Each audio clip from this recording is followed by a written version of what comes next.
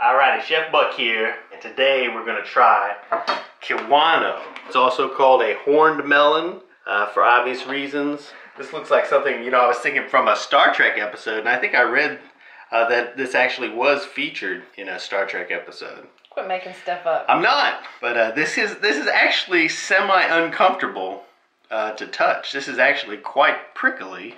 Are you a wuss? It's a very hardy fruit. You know, it lasts a long time. The more brightly colored and deeper orange it is, the riper it is. Oh, okay. We're gonna cut it this way. I've actually seen some recipes where you can just cut off the end of it and then use this as a container.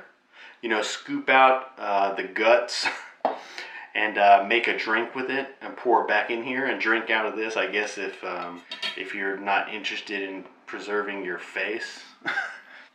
but anyway, we'll go ahead and give it a cut and see what we got going on here. Boom. Huh. Yep. So Looks like a cucumber. yeah, very much like a cucumber. It's very seedy, and you can eat these seeds. So in that way, it's like a pomegranate. In fact, I don't know how you eat this without eating the seeds. What are you talking about? There's nothing but seeds Huh? except for that exactly. seam down exactly. the center. Exactly. So it'd be very hard to avoid uh, the seeds. I'm gonna go ahead and uh, try this here. Uh, but boy, what a mess, man! This is just like a. This is a very liquidy, watery. I don't. I'm not thrilled with the consistency of this. You didn't grimace like a lemon. Yeah. Kind of a mild citrus taste. A little kiwi-ish. A little lime-ish.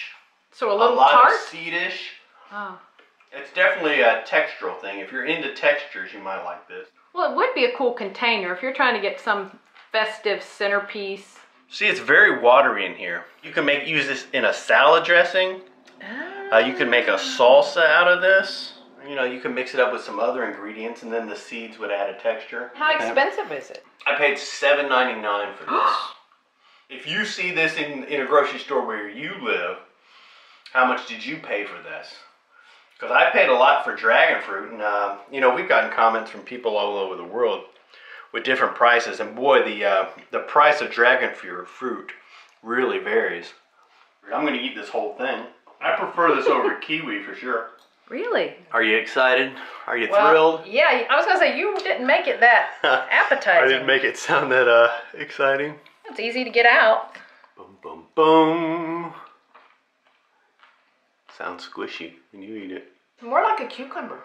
I do not taste any lime, any citrus. I taste this is like cucumber to me. And it does have little globules around the seeds. Mmm, globules. Well- I know yeah, that sounds good. So should we uh, fork out seven ninety nine and get another one of these?